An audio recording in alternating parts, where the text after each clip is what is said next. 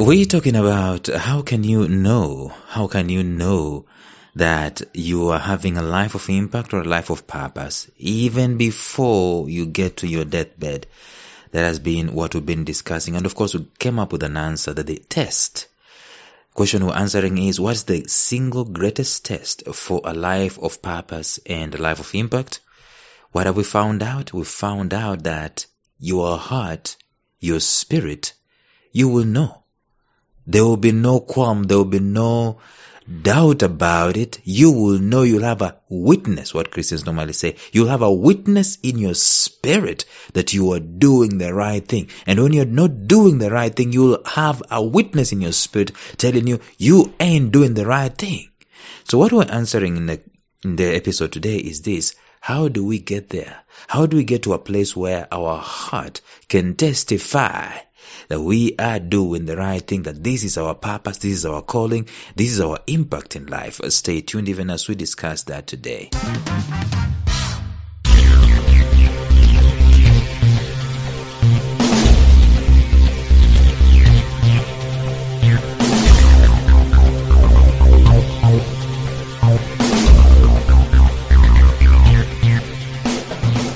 Welcome to the Life Signatures podcast with Lawrence Namale. Lawrence is a life coach, author, and keynote speaker who loves to tackle different topics on purpose, productivity, and resilience. His mission in life is to awaken all your boundless possibilities available in you. Life Signatures podcast is dedicated to bring to reality every single person who knows that deep down in their gut there's got to be more to life than this. And now, here is your host, Lawrence Namale.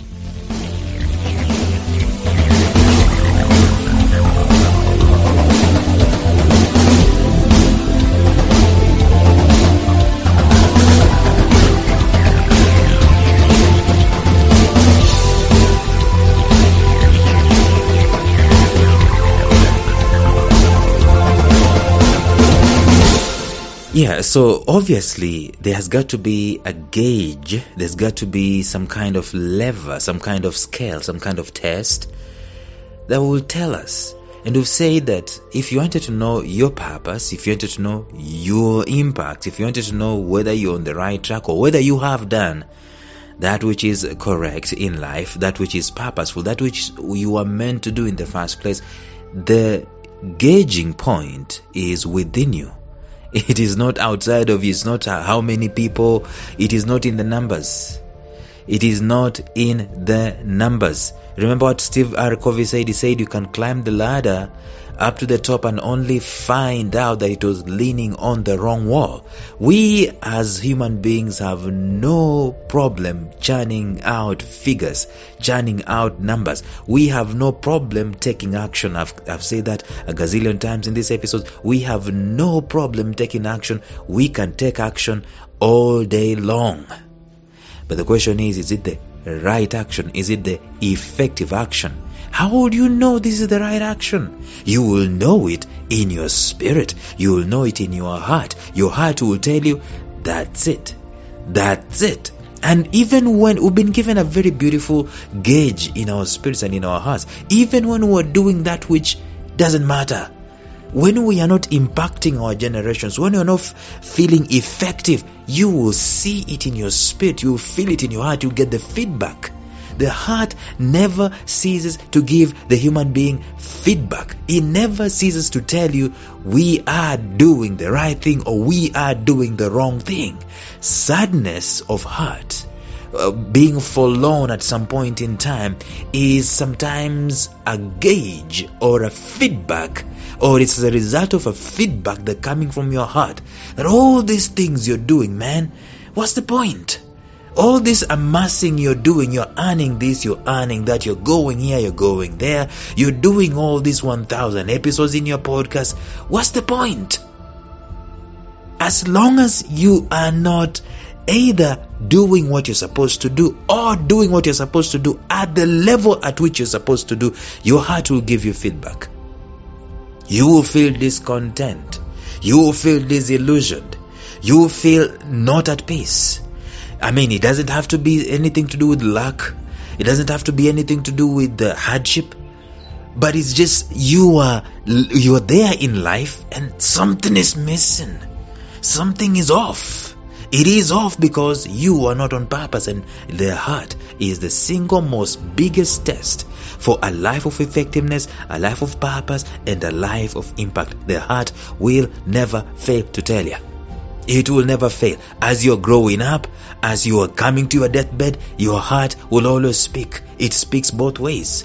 When you are busy doing things you're not supposed to do, it will speak to you. When you are busy doing things you're supposed to do, it will speak to you. And even when you come to the close of the age, close of your age, I should say, when you come to the close of your days on earth, their heart is so full of feedback, so full of clarity. It is so loud. It is the loudest thing you ever heard in this world.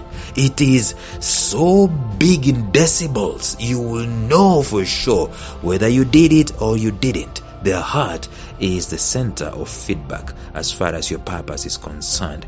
But how do you get there? That's what we were discussing in the episode yesterday, and today we want to do the same. How do you get there? We said you get there, number one, by knowing what to do. Find out what you're supposed to do to be effective in your life. If you've been given the gift of speaking, then why are you in the bank clacking away? Why shouldn't you be speaking to people, inspiring people, and motivating people? If you've been given a gift to write, why in the world are you out there teaching? Why don't you seclude yourself in some dark place, okay, some conducive place, and write bestsellers and churn out article after article or book after book or whatever, content after content? That's doing the effective thing. Find out what you're supposed to do in the first place. How do you find out? You discover what your purpose is. How do you know some of the hints of your purpose are found in your capacity, in your ability, in your gifts, and in your talent, and in the things that you're predisposed to do, the things that you both have passion for and you have capacity to do. So find out what to do. Find out what your purpose is. If you don't know what your purpose is, go to livesignatures.live and find out. It is $550 for only 8 weeks. You'll do it once and for all. Never be the same again. Find out what it is you're supposed to be doing centrally in your life. Don't tell me that the purpose of life is to be happy. Anyway, number 2. How do you get there? How do you get to that level where you know your heart can now resonate and say, Yes, you are on course. Yes, you're doing that which you're supposed to do. Number two, basically, after you found out what to do, what is the most effective thing to do, is to become a steward of it. I mean, to become authentic. The first thing yesterday is being aware. I mean, knowing it, awareness of what you're supposed to do. That's the first thing. But today, the second thing is authenticity. Do it. If you know you are called to be a preacher, why are you being a politician? If you know you are called to be a homemaker, why are you in the corporate world? I'm not saying it's wrong to do all that stuff. It is okay. I mean, like I said earlier on, you can do all the activities in this life that there are to do. N- nothing wrong with that. But at the end of the day, when the curtain comes to a close, is it the right thing? Your heart will tell you. Yeah, you're earning the money. Yes, you're getting the bonuses. Yes, you're acing the papers. You're doing good. It looks good outside. The actions speak. But your heart is saying something else. Is that it? Is that what you're supposed to do? So find out what it is. But now, secondly, do it. Do it. Stick with it. Be authentic. Be authentic to who you are. Be true to who you are. Don't copy and paste people's hustles and people's pursuits. You are unique. Now that you know what you're supposed to do, do it. Find a way of doing it. And I know here that's when we need to talk about balancing between putting food on the table and doing what you're supposed to do. How do you do it? Myles Munroe says the best time for you if you're employed and you are a man of purpose and you are employed in something that is not your purpose, the best time for you is five o'clock. After five o'clock, do that which you're called to do to such an extent that at some point in time it will be so much well that now you have enough time to do to get out of the employment and to do this. So do it. It's obvious. Finding what to do is the most important. Knowing where to go is the most important. But doing it is where the revolution begins. This man called Abraham Lincoln said, If I'm given six hours to chop down a tree, I'll use four hours to sharpen my axe. So these four hours are for finding out what it is, which talked about yesterday. But today we're talking about the two hours of doing. Two hours of doing what you're supposed to do. Four hours, in my view, are normally locating what to do.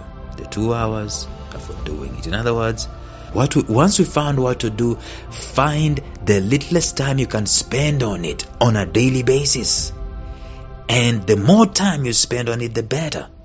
If it's 30 minutes a day, exploit the 30 minutes a day. Can you do, can you push it to two hours a day? Can you push it to four hours a day? Is it possible for it to become full time? Do it. Doing it will never be a smooth ride, let me tell you. Look at the catalogue of Paul's, uh, Paul the Apostle's uh, problems when he was pursuing his purpose. This is what he said. He said, I've been flogged five times with the Jews, 39 lashes, beaten by Roman rods three times, and pummeled with rocks once. I've been shipwrecked three times and immersed in an open sea for a night and a day. In hard traveling year in and year out, I've had to forge rivers and fend off robbers and struggle with friends and struggle with foes. I've been a risk in the city and at risk in the country, endangered by desert sun and sea storm, and betrayed by those I thought were my friends and brothers. I've known drudgery and hard labor. Many a day, a day I've longed for a night and without sleep. Many a meal have I missed and blasted by the cold and naked to the weather. And that's not what is even half of it. When you throw in the daily pressures and anxieties of all the churches, when someone gets to the end of this rope, I feel the desperation in my bones. When someone is duped into sin and angry, fire burns in my gut. If I have to brag about myself, I'll brag about my humiliations and make me like Jesus and the eternal blessed God and the Father of our Master, Lord Jesus. Now, what a man that is. My point I'm making is your pursuit of purpose will put you under great disappointments. The taking action, the doing it, is not smooth sailing. You need to overcome apathy. You need to overcome self doubt. You need to overcome discouragement. You need to overcome obstacles. You need to overcome success events. Because you can easily pitch a tent there.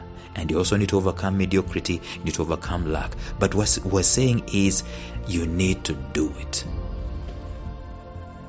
That's it. You need to do it. Get it done.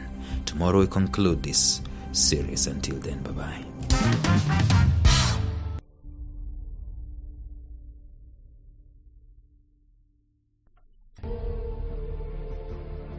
Thank you for listening to Life Signatures Radio. If you enjoyed today's show, subscribe to Life Signatures Radio on iTunes, Stitcher, or visit our website at lifesignatures.libsyn.com. Life Signatures Radio, fresh, clean, and inspiring.